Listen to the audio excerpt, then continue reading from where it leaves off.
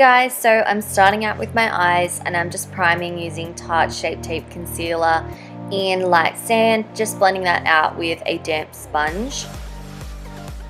And then I just went in with my MAC Studio Fix pressed powder just to set my eyelids and make sure all of my eyeshadows went over smoothly.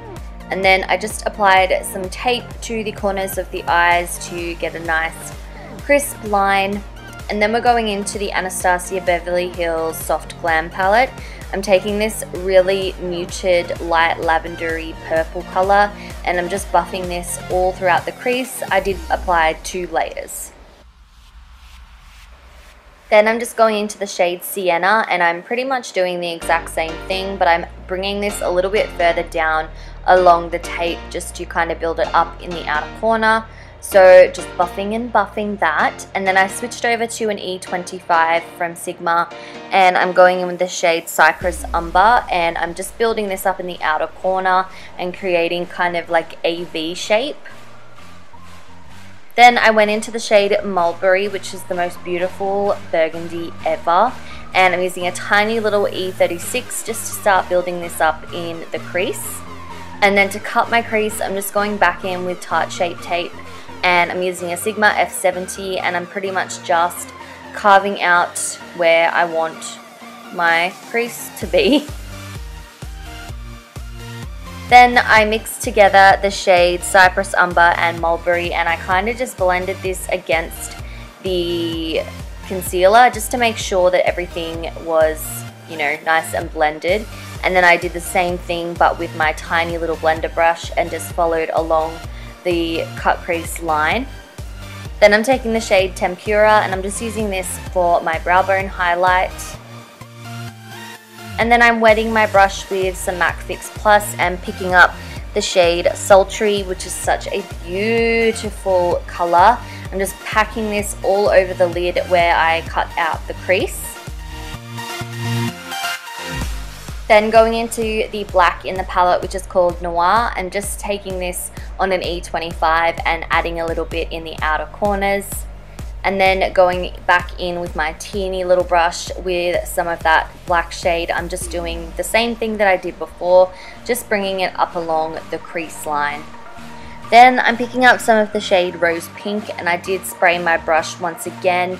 And I'm just kind of applying this more towards the inner third of the lid and then just going back in with my E40 to make sure my edges are blended and then for the glitter, I use the Stila Magnificent Metals glitter in Diamond Dust, I believe. My, oh, my lines were not even, so please ignore that. And then I went in with the Quick Flick liner and I just used the liner side, not the stamp, and created a winged liner. Then I just removed the tape and I wiped away any fallout and then I went in with my Sigma Longwear liner pencil in Wicked and just ran that across my tight line. And then for mascara, I took the Rimmel Wow Wings mascara and just gave my lashes a coat of that. And for falsies, I went in with the Eylure and Vegas Nay Shining Star lashes.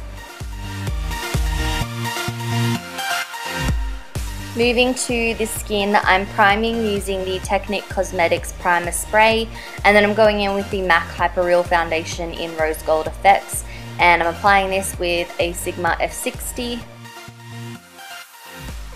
and for foundation I went with the Colourpop No Filter Foundation in the shade Light 50 so I just pumped some of and blended it all out with a damp sponge.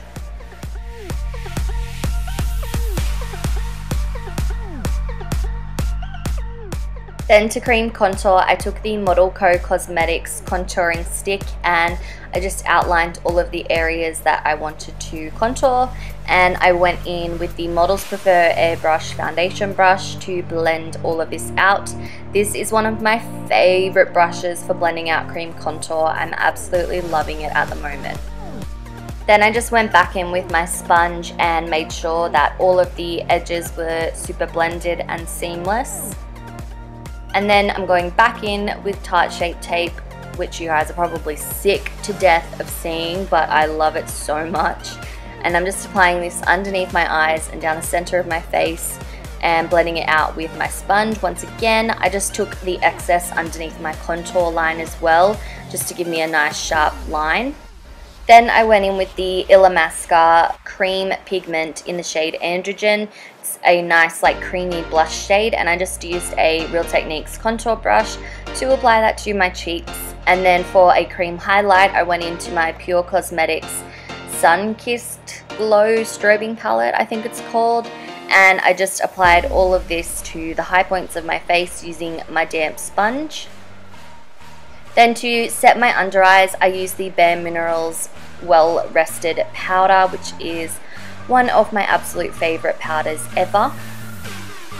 And then to set the rest of my face, I just went in with my MAC Studio Fix powder and just did a really light dusting over all of the other areas.